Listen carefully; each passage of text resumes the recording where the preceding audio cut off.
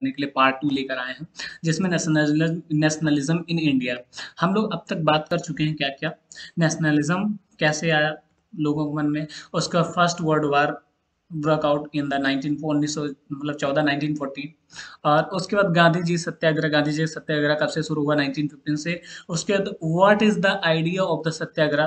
ठीक है, सत्याग्रह का आइडिया क्या था? उसका first three satyagraha first three satyagraha movement organised by ठीक है, कैसे कैसे, कब क्या हुआ था, उसका रौलेट एक्ट उन्नीस उन्नीस में आया, ठीक है, और उसके बाद फिर आज हम लोगों का पार्ट है write a short note on the Rowlatt Act Rowlatt Act पर छोटा सा एक नोट देना है आपको तो जिसमें आप एग्ज़ाम में अपने ये चीज़ लिख सकते हैं जो आपके सामने है। कैसे Gandhi ji organise a non violent satyagraha against the Rowlatt Act Gandhi ji Rowlatt Act के अगेंस्ट उसके विरुद्ध में एक अनहिंसक सत्याग्रह शुरू किए थे। राउलेट एक्ट था क्या? इसके प्रीवियस वीडियो मैंने बताया राउलेट एक्ट एक प्रकार का ऐसा कानून था, ऐसा नियम था, ऐसा रूल्स था, जो अंग्रेज़ों द्वारा लगाया गया था।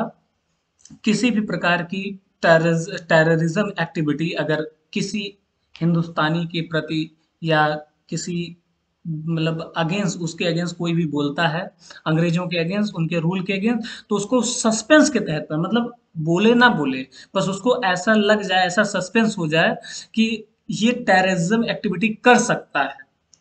मेरे हिसाब से तो मैं आज़ादी चाहता था, लेकिन उस अगले के हिसाब से यानी ब्रिटिशर्स के हिसाब से कोई भी टेररिज्म एक्टिविटी कर सकता है उसको सस्पेंस बेस पर दो साल के लिए अंदर रखा जा, रखा जाएगा।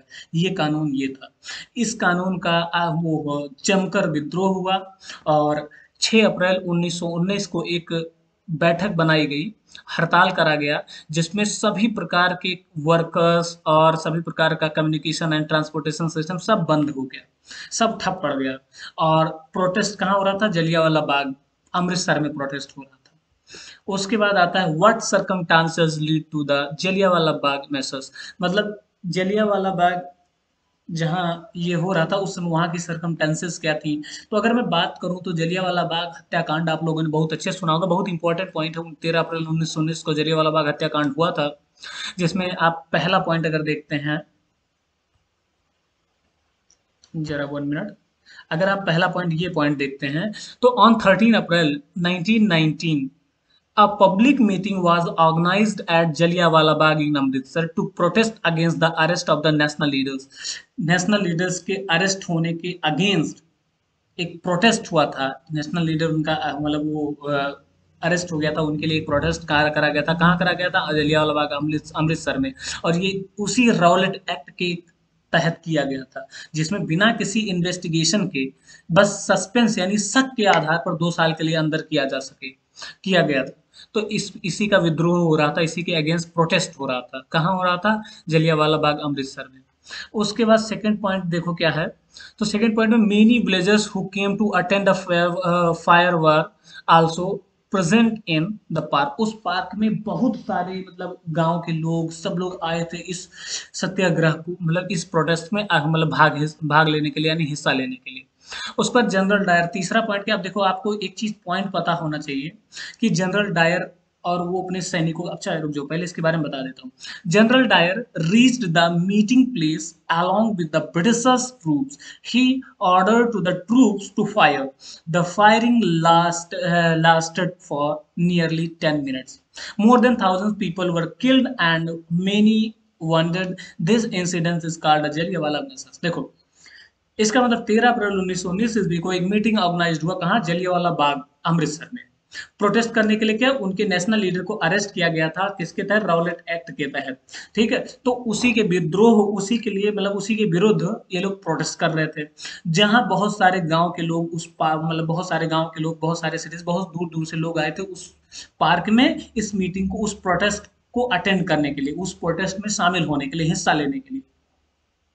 तीसरे पॉइंट में क्या जनरल डायर पहुँचता है मीटिंग में जलियावाला बाग जलियावाला बाग अमृतसर में और अपने सैनिकों के साथ पहुँचता है यानी अपने ट्रूप्स जो से, सेना की टुकड़ी होती है उसके साथ पहुँचता है। और ट्रूप्स को यानी अपने सेना को आदेश देता है कि मतलब फायर करने के लिए। और लगभग दस मिनट तक लगातार फायरिंग चलती रही जिनमें से लगभग हज़ारों लोग चौथे पॉइंट में लिखा जिनमें हज़ारों लोग मारे गए। और उसके बाद बहुत सारे लोग घायल हो गए बहुत बुरी तरीके से घायल हो गए। ठीक है? और इसी चीज़ को क्या कहा जाता है? जलियावाला बाग मैसर्स यानी जलियावाला बाग हत्याकांड कहा जाता है। अब आपसे क्वेश्चन क्या पूछ सकता है? आपसे क्वेश्चन पूछ सकता है जलियावाला बाग हत्याकांड कब हुआ था? तेरह अप्रैल उन्नीस सौ उन्नीस थर्टीन अप्रैल नाइनटीन नाइनटीन तेरह अप्रैल उन्नीस सौ उन्नीस को जलियावाला बाग हत्याकांड। ये किसके विरुद्ध है किसके अगेंस्ट हुआ था? तो रावलेट एक्ट के अगेंस्ट हुआ था। रावलेट किसके विरुद्ध में मतलब प्रोटेस्ट करते समय ये हुआ था? तो रावलेट एक्ट के अगेंस्ट मतलब हुआ था। रावलेट एक्ट अगेंस्ट प्रोटेस्ट करते, करने के विरुद्ध में हुआ था, जलियावाला बाग हत्याकांड।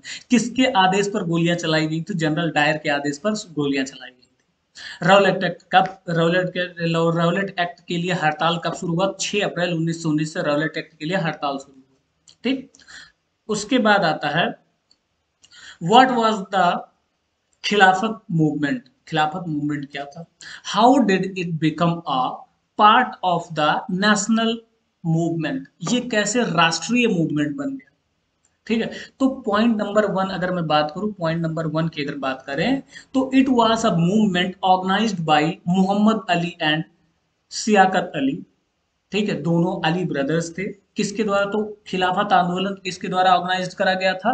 मोहम्मद अली और सियाकत अली के तहत किस से शुरू हुआ था? दोनों ब्रदर्स थे। पॉइंट नंबर सेकंड देखो ये भी खिलाफत आंदोलन के बारे में जब बात है तो ये जो पॉइंट्स है ना, ये पॉइंट इंपॉर्टेंट है, इसको आप अपने बुक में लिख सकते हो, अपने नोटबुक में लिख सकते हो। जब अगर आप टेंथ क्लास में हो या ट्वेल्थ में हो या नाइन्थ में हो, अगर आप में national the rise of nationalism in India है तो आप इस चीज़ को लिख सकते हो, इस पॉइंट्स को।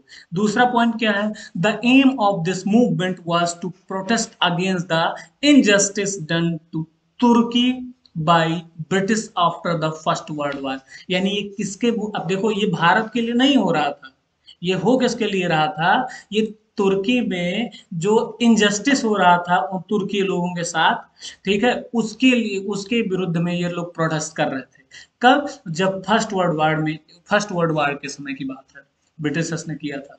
ठीक? अब मैं ज़्यादा नहीं बोलेंगे, आपको समझ आ गया होगा मैं क्या कहना चाहता है। The aim of the movement was to protest against the injustice done to Turkey by British after the first world war point number third point number third में क्या the Turkish sultan had the title of caliph the Muslim considered him as their spiritual leader.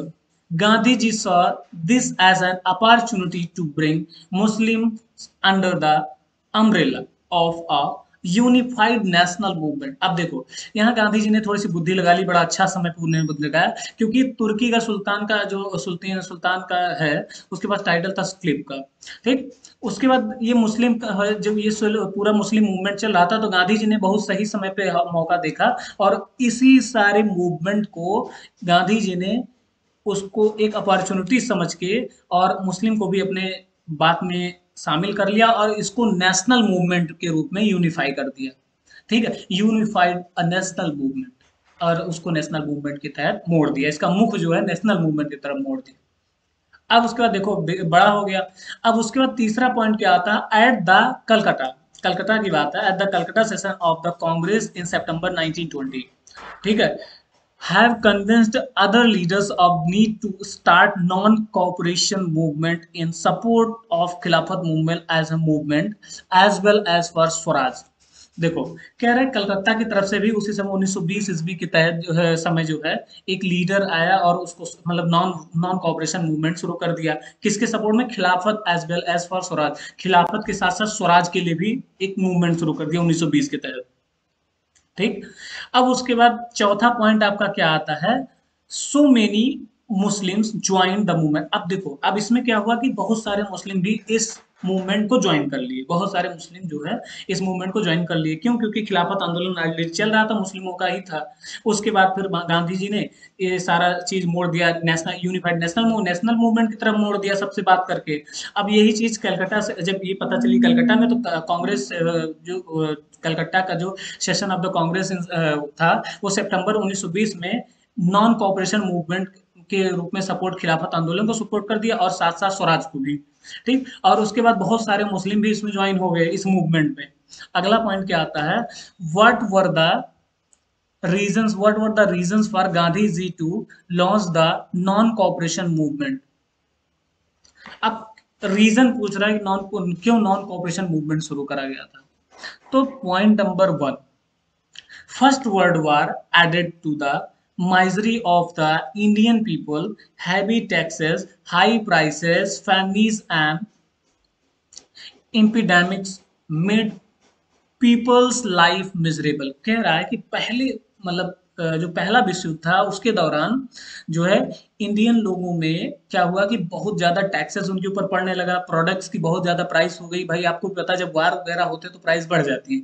तो उस समय बहुत ज़्यादा taxes बहुत ज़्यादा prices बढ़ रही हैं। उसके बाद बहुत मतलब कुछ पैंडेमिक्स वगैरह भी थे। ठीक है तो जिसकी वजह से जो लाइफ बहुत दयनीय हो गई मिजरेबल हो गई मिजरेबल बहुत दयनीय, बहुत बुरी स्थिति हो गई पब्लिक की इंडियन पब्लिक्स की, बहुत बुरी स्थिति हो गई। Point number second Rowlatt act invited large scale protest throughout the country अब राउलेट एक्ट कैसे लार्ज स्केल राउलेट एक्ट कैसे लार्ज स्केल पे इनवाइट करा? तो भैया राउलेट एक्ट की वजह से बहुत बड़ा क्षेत्र जो है आया प्रोटेस्ट करने। क्यों? क्योंकि ये स्थिति ऐसी थी कि मतलब बिना किसी गलती के भी लोग अरेस्ट हो जाते थे। और पता है, ऐसे अगर मान लो किसी से कोई अपने मतलब अधिकार का बात जैसे उठाए और तुरंत उसको उठा के जेल में डाल दिया जाए, भैया, हमें तुम्हारे ऊपर शक है कि आप हो सकता है विद्रोह कर सकते हो या हो सकता है टेररिज्म एक्टिविटी कर सकते हो। ऐसा बोल के दो साल के लिए अंदर बोलेगा, अब इन्वेस्टिगेट होगा, तब आपको बाहर निकाला जाएगा। तो ये कोई मैटर थोड़ी और झूठा किसी को कर लो तो क्या मतलब रहेगा फिर तो मतलब आदमी तो ये क्या है ह्यूमन राइट का हनन हो रहा पूरी पूरी तरीके से। आप पूरी तरीके से आपके आपका जो अपना राइट होता है, उसका भी समाप्ति थी। मतलब आप अपने हिसाब से कुछ नहीं कर सकते थे। ठीक है? यानी अगले के हिसाब से। तो इसे ही तो कहते हैं गुलाम।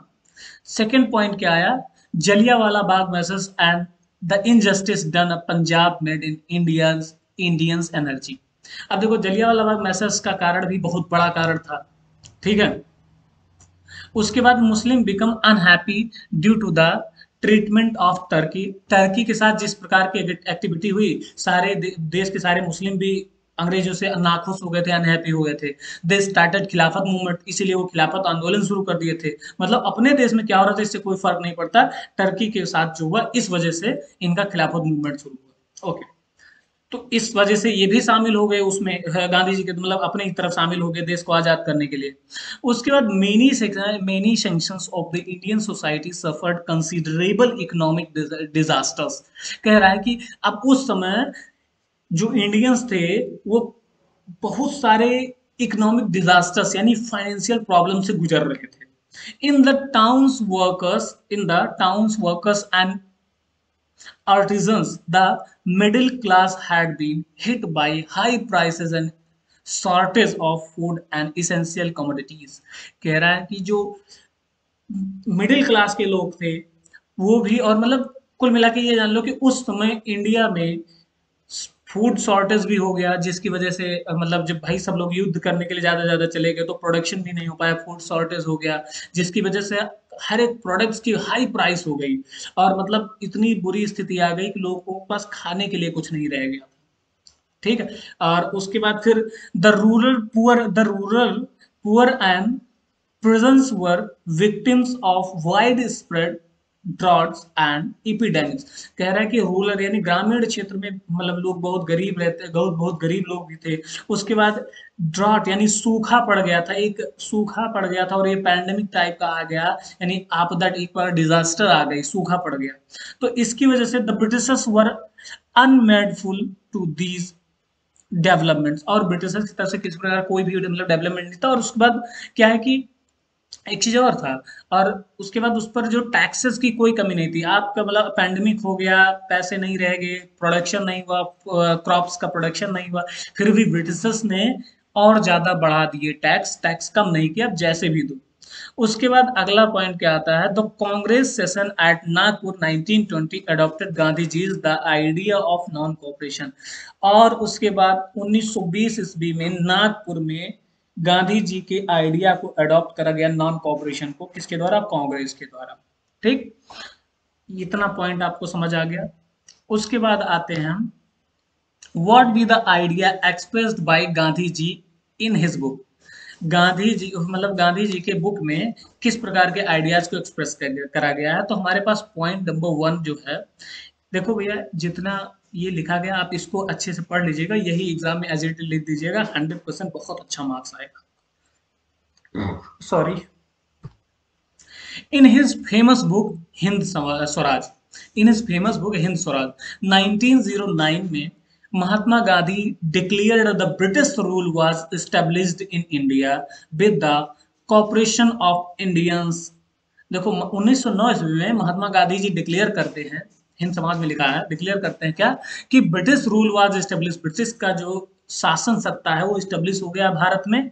किसके किसके सहायता से? इंडियंस के कॉपरेशन के साथ, यानी इंडियंस के सहायता के साथ साथ जो है, तभी, जैसे किसी भी राज्य में राजा सफल तभी हो सकता है जब पब्लिक का समर्थन हो। तो इसी प्रकार इंडियंस का समर्थन हुआ तो राजा भी मतलब इंडियंस पर ब्रिटिश रूल लागू हो गया। ब्रिटिश रूल स्टेबल हुआ, किसके कॉपरेशन से? इंडियंस की कॉपरेशन से।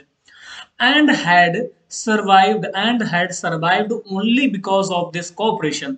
और ये केवल केवल survive कर सके केवल इसी कॉपरेशन की वजह से। If Indians refuse to cooperate अगर इंडियन लोग ना कॉपरेट करते, त्याग देते, मना कर देते कॉपरेट करने का तो British British rule in India would collapse within year तो ब्रिटिश का जो रूल था इंडिया में, वो एक ही साल में ढह गया होता, गिर गया होता कोलैप्स कर गया होता। एंड स्वराज वुड कम और स्वराज आ जाता। स्वराज पार्ट मतलब स्वराज जो है, स्वराज का रूल आ जाता। There he started the non cooperation movement इसीलिए नॉन कॉपरेशन मूवमेंट शुरू हुआ था। आपको समझ आ गया होगा। इसमें महात्मा गांधी जी की जी की एक बुक थी, जिसमें लिखा जो कि बुक का नाम था हिंद समाज, हिंद स्वराज। उस वो उन्नीस सौ नौ ईस्वी में महात्मा गांधी जी ने डिक्लेयर कर दिया था कि ब्रिटिशर्स जो है, ब्रिटिश का राज स्टेबल हो गया है, किसकी सहायता से? इंडियन की कॉपरेशन की वजह से सहायता हो गया है। अगर और इसी वजह से वो सरवाइव कर पा रही है कॉपरेशन की वजह से। अगर इंडियंस उसको रिफ्यूज कर देते रिफ्यूज कर देते कॉपरेट ना करते ब्रिटिशर्स को तो इनका एक ही साल के भीतर इनकी सरकार समाप्त हो जाती। ठीक है कोलैप्स कर जाता। और स्वराज आ जाता। इस प्रकार ही स्टार्टेड द नॉन कॉपरेशन इसीलिए एक प्रकार का नॉन कॉपरेशन मूवमेंट शुरू हुआ था ताकि जो है इनका सरकार कोलैप्स